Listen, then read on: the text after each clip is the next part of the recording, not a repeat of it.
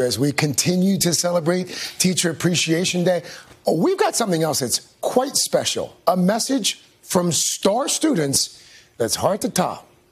Greetings from the International Space Station. I'm NASA astronaut Shane Kimbrough, along with my crewmate Megan McArthur.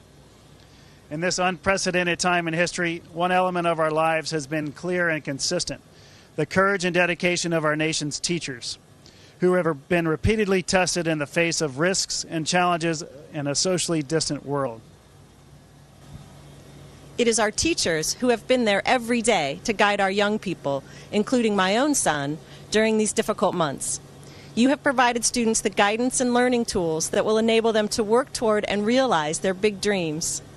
You are laying the foundation for us here at NASA to welcome the next generation of explorers who will follow us into space. The young people you are teaching today will be the ones to travel to distant destinations in our solar system. Believe me, they will remember you.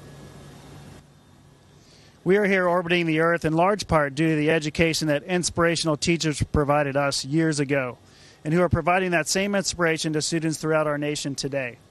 We and our crewmates pay special tribute to you during Teacher Appreciation Week.